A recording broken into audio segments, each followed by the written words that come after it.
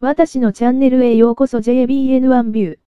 キンプリの平野紫耀が世間からの偏見を訴えるも、メンバーは自分で言ったことをで反論。キングプリンス平野紫耀集合体恐怖症だから鳥肌がやばい。しかし、平野の大悟さんは、いくらは加熱すると白っぽくなり、食感も変わるということ。炊飯前は鮮やかな赤だったイクラだが、炊飯後真っ白に変化しており、平野は集合体恐怖症だから鳥肌がやばい。とんでもないものを作ったな、と自身の作った料理に、先日、また、一口食べてみると、何もプチプチしない。味は美味しい、と予想外の仕上がりに目をまん丸にしていた。一方、神宮寺はマダイとハマグリ、海苔の佃煮の炊き込み、ご飯を料理。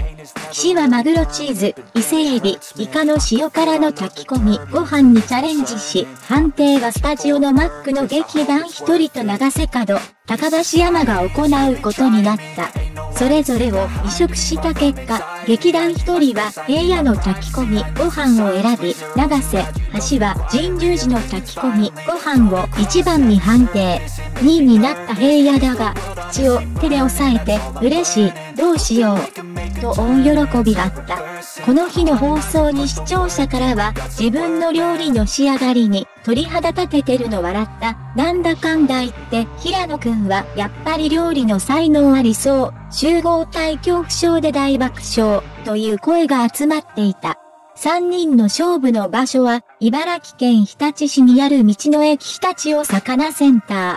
テーマは3品炊き込みご飯で、炊き込みご飯の具材を3品選んで炊き込みご飯を完成させる。スタッフによると、ロケ前後に近づいてきた台風の影響で、魚があまり入れていないとのことだったが、前回も参加した神宮寺はなぜか、でも大丈夫っしょ、と余裕の表情。状況に焦っていた平野が、なんでそんなに自信に溢れてる？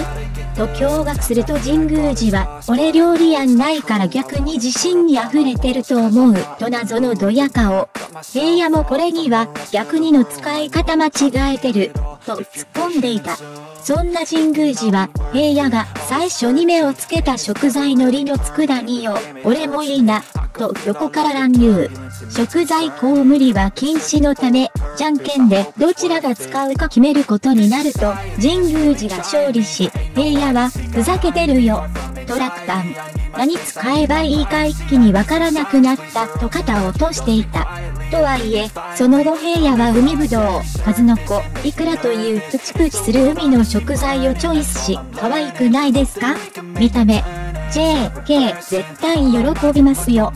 と、自信満々。食材選び終了後も、市と神宮寺に、プチプチ JK という料理名を明かし、12月に予定控えてるから、原宿に店オープンする。JK が喜ぶの目に見えてるとかますなど自信満々なよう。この日は道の駅にあるご当地食材3品でメンバーがオリジナルレシピを開発する企画、道の駅3品クッキングが行われ、岸優太、平野志陽、神宮寺優太の3人が挑戦した。勝負の舞台は食材の王国と言われている茨城県にある道の駅。しかし、3人とも茨城県が食材の王国だと知らなかったそうで、平野に至っては茨城県産のもの見たことがないと言い、神宮寺がプライベートで3回訪れたことがある一方、一度も来たことがないとか。そんな平野はこの企画に初登場。料理ができないと嘆きつつなんかわかんないっすけど、僕料理できるキャラになってるんですけど偏見ですからね。と訴えていたが神宮寺と騎士によると平野の料理できるキャラは自ら言い出したものとのこと。一時期料理できると言ってた、よ言ってた時期はあったからそれが染みついてるのかも。岸一回言っちゃったことは責任持たないと、ね、神宮寺と反論していた。また、神宮寺が、岸くんのおバカキャラも染みついてる、と口を出すと、岸は、それは否めない、とぽつり。平野は芸能人だから発言気をつけようね、となぜか率先して騎士を励ましていた。キングピスの冠番組、キング、リンチェプリンスルが8月6日に放送された。丸私のビデオを見てくれてありがとう。最新のビデオを受け取るために私のチャンネルを購読してください。最後まで読んでいただきありがとうございました。